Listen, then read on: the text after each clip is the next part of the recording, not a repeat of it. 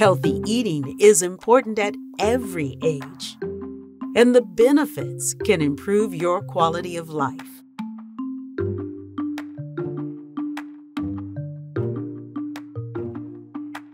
Eating a variety of foods from different food groups can help us get all the nutrients our bodies need to move, grow, and stay healthy.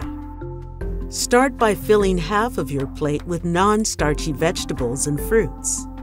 Next, fill a quarter of your plate with grains, prioritizing whole grains, and fill the last quarter of your plate with a lean protein. Remember to check nutrition facts labels. Limit consumption of sugary drinks, sweets, sodium, fatty, and processed meats and high fat dairy products. Use healthier cooking methods like baking or steaming. And keep cut veggies in the refrigerator to reduce meal prep time and as quick, healthy snacks.